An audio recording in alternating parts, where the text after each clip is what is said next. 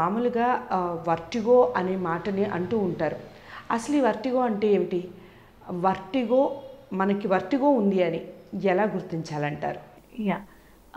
So ఏంటంటే అండి మామూలుగా కొంతమంది వర్టిగో అనగానే దే గెట్ స్కేర్డ్ ఏంటంటే బ్రెయిన్లో ఏదో ప్రాబ్లం ఉంది అన్నట్టుగా. సో మీరు ఇందాక చెప్పినట్టుగా. కానీ వర్టిగో అనేది ఇప్పుడు మనం టూ కేటగిరీస్లో డివైడ్ చేసుకోవచ్చు అండి ఒకటి అక్యూట్ వర్టిగో ఇంకోటి క్రానిక్ వర్టిగో అక్యూట్ వర్టిగో అంటే ఏంటంటే ఇప్పుడు ఎప్పుడైతే వీళ్ళకి కళ్ళు తిరగడం ఒక సడన్ ఎపిసోడ్ లాగా ఇదైతే వాళ్ళకి ఫస్ట్ టైం వస్తుందో. అండ్ యూజువలీ ఫస్ట్ టైం మీకు ఎప్పుడైతే కళ్ళు తిరుగుతాయో దీంతో పాటు వీళ్ళకి వాంతులు కూడా అవుతాయి బాగా భయం కూడా ఎక్కువ ఉంటుంది ఎస్పెషలీ ఫస్ట్ ఎపిసోడ్ అప్పుడు. అండ్ క్విక్లీ వీళ్ళని ఎమర్జెన్సీకి తీసుకెళ్తారు. యూజువలీ వామిటింగ్స్ అవ్వడం వల్ల వీళ్ళు డీహైడ్రేట్ అయ్యి బీపీ లో అయిపోవడం వల్ల వీళ్ళకి ఫ్లూయిడ్స్ ఇవ్వాల్సి ఉంటుంది. And they admit them for ఒక two three days and then antivertigo drugs ఇస్తారండి మోస్ట్ కామన్ అది. And they send them home so ఇది మీకు అక్యూట్ వర్టిగో అప్పుడు జరుగుతుంది. క్రానిక్ వర్టిగో అని ఎప్పుడు అంటామంటే ఈ ఫస్ట్ ఎపిసోడ్ అంత మేజర్గా అవ్వదు. దీని తర్వాత మళ్ళీ వర్టిగో వీళ్ళకి ఎపిసోడ్స్ లాగా అవుతుంది. అంటే కొన్ని రోజులు బాగానే ఉంటారు. దాని తర్వాత కొన్ని రోజుల తర్వాత మళ్ళీ కొద్దిగా తల తిరిగినట్టు ఇప్పుడు వీళ్ళకి ఎప్పుడైతే కళ్ళు తిరుగుతుందో వీళ్ళకి అంత సివియర్గా ఉండదు కానీ వీళ్ళకి సడన్గా కిందకు చూస్తే కళ్ళు తిరుగుతున్నట్టు పైకి చూస్తే కళ్ళు తిరుగుతున్నట్టు. ఎస్పెషలీ బెడ్లో ఒక సైడ్ నుంచి వేరే సైడ్కి వాళ్ళు తిరిగినప్పుడు మొత్తం తిప్పుతున్నట్టు.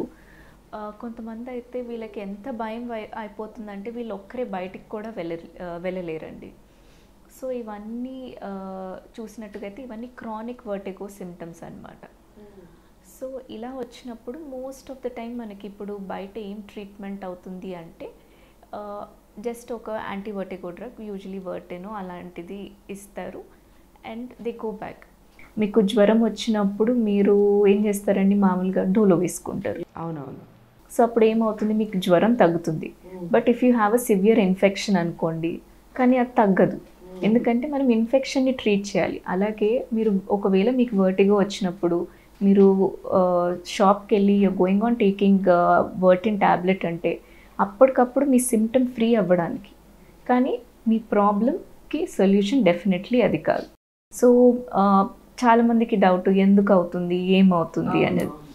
సో ఇప్పుడు ఇక్కడ మీరు చూసినట్టుగా అయితే ఇది మన ఇయర్ అండి. చెవు అంటాం అనమాట దీన్ని. ఈ చెవు లోపల చూసినట్టుగా అయితే ఇది ఎక్స్టర్నల్ ఇయర్ ఇది మిడిల్ ఇయర్ ఇది ఇన్నర్ ఇయర్ అంటాం అనమాట ఈ ఇన్నర్ ఇయర్ ఏదైతే ఉందో ఇది టూ ఫంక్షన్స్ చేస్తుందండి. ఒకటి మనం ఏదైతే సౌండ్స్ వింటామో దాన్ని ప్రాసెస్ చేసి మన బ్రెయిన్కి పంపిస్తుంది. ఇంకొకటి ఏంటంటే మన బాడీ బ్యాలెన్స్ సిస్టమ్ని కూడా ఇది కంట్రోల్ చేస్తుంది అనమాట అండ్ పర్టికులర్గా ఇక్కడ నుంచి ఈ నరం చూస్తే దీన్ని వెస్టిబులో కాక్లియర్ నర్వ్ అంటాం. దీంట్లో టూ పార్ట్స్ ఉన్నాయి. Vestibular nerve auditory nerve so vestibular nerve అనేది మన బ్యాలెన్స్కి సంబంధించిన నరం అన్నమాట. అండ్ ఇక్కడ చూసినట్టుగా అయితే ఆడిటరీ అంటే మనం వినికిడికి సంబంధించిన నరం అనమాట ఈ రెండు నరాలు కలిసి వెస్టిబులో కాక్లియర్ నర్వ్ ఇది మన బ్రెయిన్లో ఉన్న ఎమోషనల్ సెంటర్కి వెళ్తుందండి.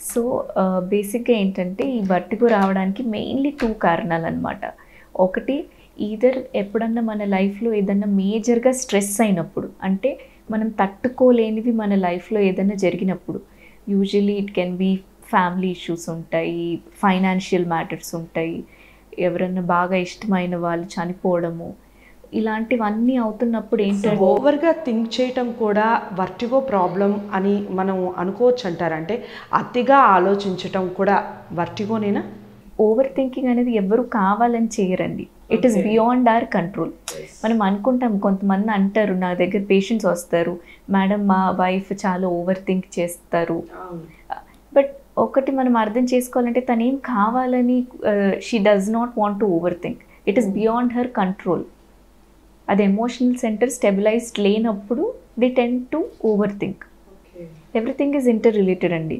సో దీంట్లో ప్రాబ్లం ఉన్నప్పుడు మన ఎమోషనల్ సెంటర్ ఎలా ఎఫెక్ట్ అవుతుందో ఎమోషనల్ సెంటర్లో ప్రాబ్లం ఉన్నప్పుడు మన బ్యాలెన్స్ సిస్టమ్ అనేది అలాగే ఎఫెక్ట్ అవుతుందన్నమాట. ఓకే సో ఇవి మేజర్ రీజన్స్ నేను మీకు చెప్పినట్టు. అండ్ ఇది కాకుండా ఇంకొకటి ఏంటంటే వైరల్ ఇన్ఫెక్షన్ ఎస్పెషలీ ఈ మధ్య కాలంలో చూసినట్టుగా అయితే వర్టిగో కేసెస్ ఎక్కువ అయ్యాయండి ఎందుకంటే కోవిడ్ వైరస్ అనేది it has a specific preponderance towards the nerve అంటే కోవిడ్ యొక్క వైరస్ ఏంటంటే ఈ నరాన్ని ఎక్కువ ఎఫెక్ట్ చేస్తుంది. అంటే ఈ మధ్య కోవిడ్ వచ్చిపోయినట్టు కూడా చాలా మటుకు తెలియదండి ఎందుకంటే అందరం వ్యాక్సినేషన్ తీసుకొని ఉన్నాం. సో అది మామూలు జలుబు జలుబు దగ్గులాగా వచ్చి వెళ్ళిపోతుంది. ఎవరికి తెలియదు ఓకే.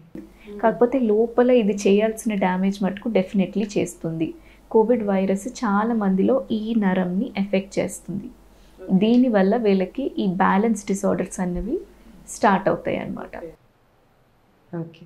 సో వట్టిగో అనగానే జస్ట్ ట్యాబ్లెట్ కాదండి. We need to treat the two components వీళ్ళలో ఉన్న emotional component plus physical component. రెండు కరెక్ట్గా అడ్రస్ చేసుకొని ట్రీట్ చేయడం ఇంపార్టెంట్. సో స్పెసిఫికలీ మీరు చూసినట్టుగా ఏమవుతుంది వీళ్ళకి బ్యాలెన్స్ సిస్టమ్ లోపల అంటే one of the may basic reasons of this vertigo ఏంటి అంటే బీపీపీవి అంటామండి. బీపీపీవి అంటే బెనైన్ పరాక్సిస్మల్ పొజిషనల్ వర్టిగో అన్నమాట.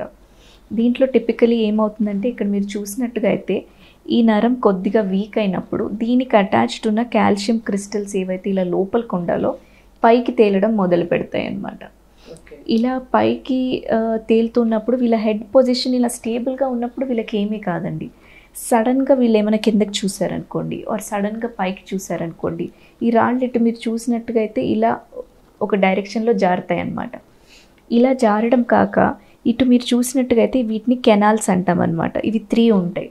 మనకి superior canal lateral canal posterior canal by chance me head movement బాగా జర్కీగా ఉన్నప్పుడు వన్ ఆఫ్ ద స్టోన్స్ ఈ రాయి బై ఛాన్స్ దీంట్లోకి వచ్చింది అనుకోండి మీకు మొత్తం తిప్పినట్టుగా ఉంటుంది.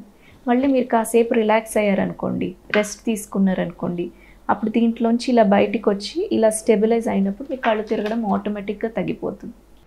Okay so this is what happens in most of the people అందుకే ఈ వర్టిగా వచ్చిన వాళ్ళు on and off on and off బాగా సఫర్ అవుతూ ఉంటారనమాట